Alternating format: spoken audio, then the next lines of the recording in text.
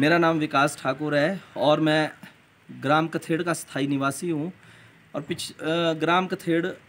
के बारे में थोड़ा सा आपको बताना चाहूँगा कि हमारा क्षेत्र बहुत लंबे समय से बसाल पंचायत के अंतर्गत ही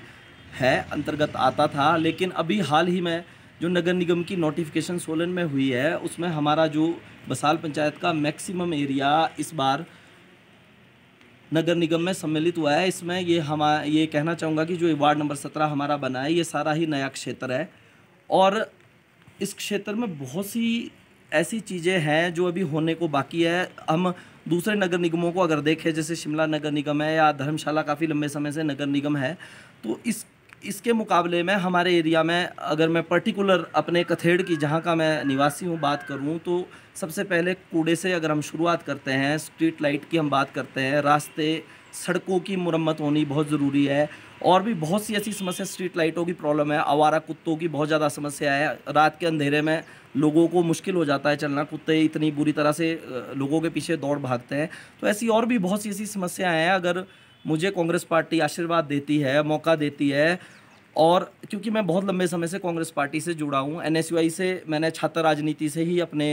पॉलिटिकल करियर की शुरुआत की थी। वर्ष 2005 में एनएसयूआई में हम primary member active member Solan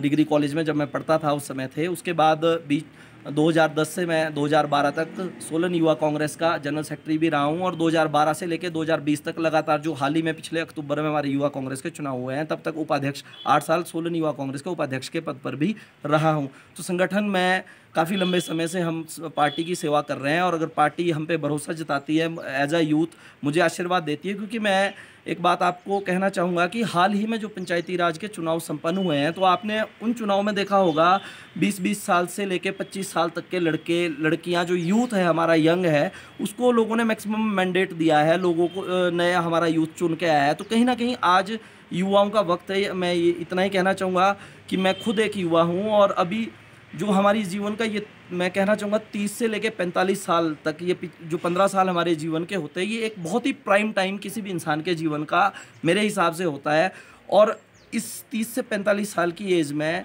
जिस भी क्षेत्र में कोई भी युवा झील पकड़ ले या काम करना शुरू कर दे तो एक जिद होती है इंसान के अंदर, एक झील होती है ठानी हुई इंसान है तो उसको इंसान पूरा कर सकता है। तो आज मैं खुद I am just thirty five years पैंतीस साल का अभी मैं हूँ, और मैं चाहता हूँ कि ये एक मेरे पास सही समय है कि मैं अपने वार्ड के खासतौर, अगर मैं बात करता हूँ, क्योंकि अगर मैं वार्ड में अपने देखूँ तो अगर मुझे पार्टी मौका देगी, कांग्रेस पार्टी मुझे मौका देगी तो इस इस एज ग्रुप पे मैं अपनी फ़ील्ड में जाके मेहनत करना चाहूँगा और अपने लोगों को हर वो सुविधा जो एक नगर निगम में लोगों के लिए मिलनी चाहिए, वो उसको मुहैया करवाने के लिए भरसक प्रयत्न करूँगा और अपने वार्ड को, अपने वार्ड नंबर सतारह को एक आदर्श वार्ड बनाने की कोशिश करूँगा।